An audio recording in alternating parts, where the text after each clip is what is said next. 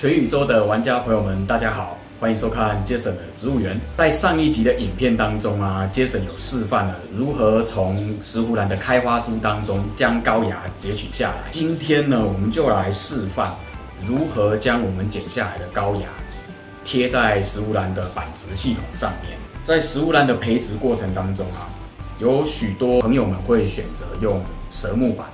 做繁殖，选择蛇木板啊，会有一个风险，在水分散失上面会不利于新手去做水分的评估。我们要来向大家分享以及教学如何将高芽株板植在杉木板上面的一个方式。为什么我们选择杉木板，而不是用一般传统的蛇木板？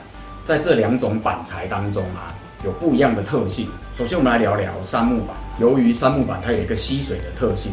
即便你的科身太过于干燥，木板它还是会释放一些微微的水分，来维持你的科身，避免它过度干燥。那接下来呢，我们来看看在板植石斛兰的过程当中，需要做一些什么样的准备。现在在画面上面啊，你可以看到我们在板植石斛兰的程序当中所需要的材料，第一个是我们准备了潮湿的水草。那这个水草的选用上面，尽可能去选择智利水草，它的质地相对绵密，然后再来比较不容易酸化。此外，在长年限的使用过程当中，比较不容易腐败。我们精选的高芽株，事先填充好的肥料包、图钉、杉木板。高芽株的部分啊，必须要先看一下叶片它是有向光性，尽可能的将叶片的向光面要朝上。潮湿的水草。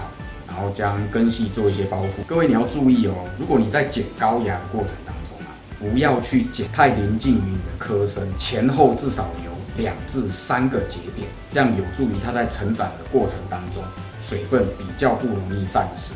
这一个干燥的茎秆里面，它还是有一些微量的养分在里面。在贴板的过程当中，接下来的几周啊，食物兰会呈现一个比较静止成长的状态，它唯一的养分就是靠这些茎秆。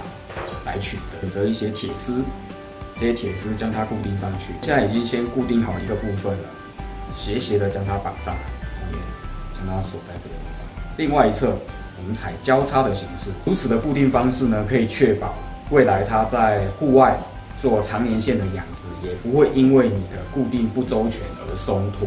已经将肥料包给固定上来了，在底下以图钉的方式来做固定。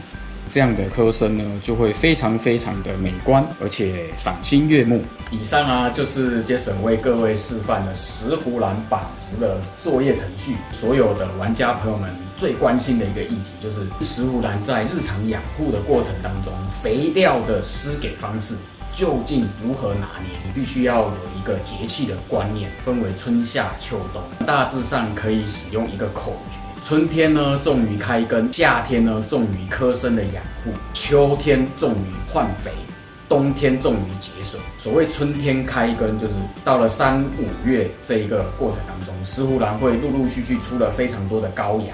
即使在板植系统或是吊挂系统上面，来到了春季的时候呢，它会自然而然的出了非常多的高芽。在肥料的施给上面，尽可能就是以氮磷钾的均衡肥，促进吊挂板植系统的植株生长。接着呢，会建议各位使用花宝二号这一个系列。花宝二号基本上它是氮磷钾的均衡配方。由于我们的板植系统上面啊，都还是有放一些基础的磨肥。平日啊，如果你没有开根肥，你也可以仰赖这一种基础肥料，作为一个日常肥料养护的施给动作。夏天由于太阳曝晒比较严重，所以你要不时的去注意一下，在板植吊挂系统上面的水草，不要让它太干，但是也不要非常的湿。如果你的栽植环境属于比较常曝晒的场所，尽可能去设置一些黑网，来遮蔽一些强紫外光对叶片来造成曝晒。秋天呢，就来到石斛兰啊，花芽非常旺盛的时候，当来花芽的季节，这段期间，你尽可能可以使用一些促进开花的一些肥料。花宝系列它有上市的一些开花肥，每周施给一次就可以的。至于施给的量啊，大概就是一 cc 的肥料配一千 cc 的清水，混合之后，然后喷洒在这一个板植的水草上面。来到了冬季之后啊，就是石斛兰开花的季节。当石斛兰花芽来，记住要把肥料全部都移除，因为这个时候啊，在茎秆上面全部都是花苞，这边过多的肥料、过多的开花肥对它的花芽出芽会不利。尽可能就是维持棵身的干燥，然后静待花芽发育完整之后，接着我们就可以来赏花。以上呢就是今天啊，杰森为大家准备的石斛兰板植作业的程序哦，希望大家会喜欢。在影片的下方呢，杰森会提供一个连结，欢迎大家进来欣赏这个季节石斛兰绽放的一些精彩画面。接下来呢，植物园会推出第六集的植物兰日常养护，如何浇水，在浇水过程当中又有什么要注意的呢？欢迎所有朋友们继续追踪杰森的植物园。那我们今天影片就到这边喽，拜拜。